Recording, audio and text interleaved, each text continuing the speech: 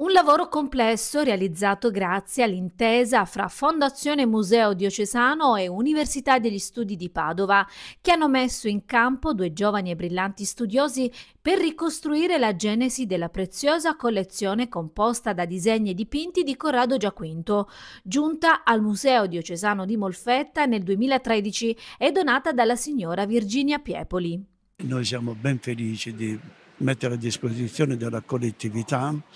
eh, questi locali, questi ambienti, con l'augurio che eh, l'arte, ciò che è bello ciò che verrà esposto, eh, non solo prossimamente, ma direi anche in futuro, possa suscitare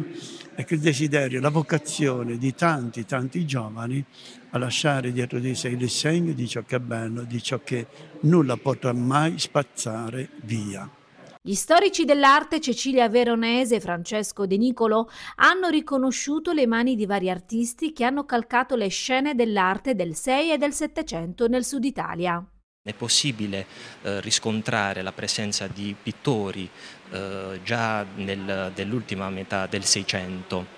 tra cui Nicola Gliri che è eh, un pittore di Bitonto che ha rappresentato un punto di riferimento con la sua scuola anche per le successive generazioni di pittori, tra cui Saverio Porta, il primo maestro molfettese di Giaquinto e ehm, attraverso Nicola Gliri è possibile anche e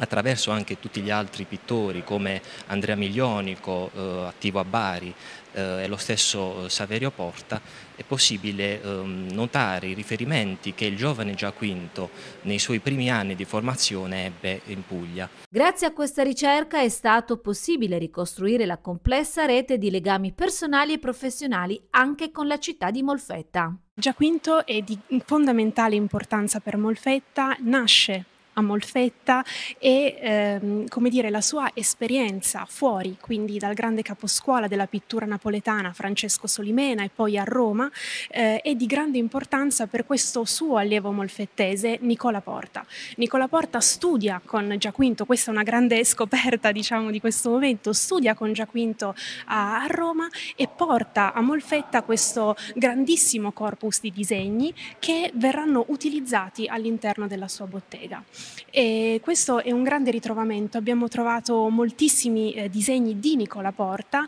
eh, che eh, sono ehm, disegni preparatori per le sue opere, ma anche disegni di Nicola Porta che studiano eh, e ricopiano le opere di Giaquinto a Roma. E questo è un, un grande passo, una grande novità di questa, di questa mostra e di questa pubblicazione.